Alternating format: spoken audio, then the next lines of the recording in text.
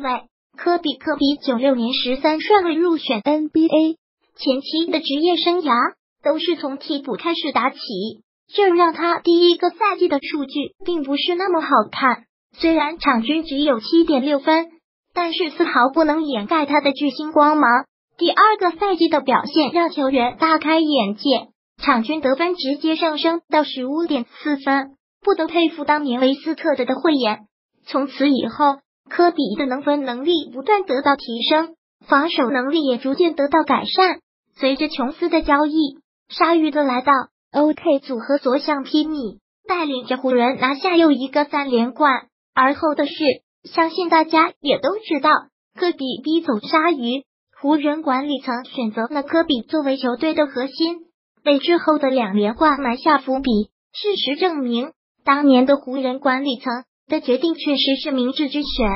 第二位，詹姆斯·哈登。哈登零九年作为探花被雷霆队选中，但职业生涯并非顺风顺水。当外界都以为雷霆的新赛季会是由哈登、杜兰特、威少组成的三巨头担任首发时，雷霆的教练组的做法让人吃惊了。他们为了增强替补席的得分能力，硬生生的将哈登放在了替补席。在新秀赛季，哈登更多的扮演的是一个第六人的角色。不过，哈登的表现没有让我们失望，拿到了最佳第六人的称号。随着雷霆总决赛的折戟，哈登的合同到期，迫于薪资力压力，雷霆不得不选择将哈登交易至火箭。在休斯顿，哈登的表现令人叹为观止。在这里，他成功得到教练和队友的信任，坐上了球队老大，打出了自己的最佳水平，成功带领球队打入西部决赛。不得不说，哈登的表现确实配得上他现在的薪资。也希望他能带领球队更上一层楼。第三位，保罗·乔治泡椒的新赛季同样也是从替补开始打起。第一个赛季的场均得分只有少少的七点九分，但是在球队老大格兰杰受伤后，也就是第二个赛季开始，泡椒就牢牢的占据着了首发的位置，得分能力也开始展现出来。当球队需要他的时候，总能站出来带领着球队前进。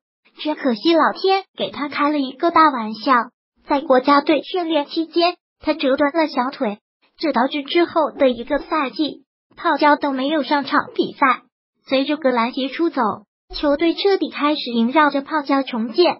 之后的泡椒凤凰涅槃，浴火重生，带领步行者和詹姆斯的骑士百万。虽然最终折戟，但是我们依然看到了一个让我们满意的泡椒。随后他选择离开，加入了雷霆。祝福泡椒能够梦圆总冠军。第四位，吉米巴特勒。巴特勒小时候家庭条件艰苦。也正是这种环境，使他磨练出了吃苦耐劳的本性。在公牛任劳任怨，经常是球队出场时间最多的，防守最积极的，训练最卖力的。在罗斯受伤以后，巴特勒站了出来，扛起了球队进攻大旗，带领球队一次又一次走向胜利，连续入选全明星，也真能映衬出他优秀的表现。然而，公牛选择重建。他随之被交易到狼队，这次毫不影响他的表现，依然带领着自己的球队进步。巴特勒确实拥有着让我们敬佩的本性，值得我们每一个年轻人学习。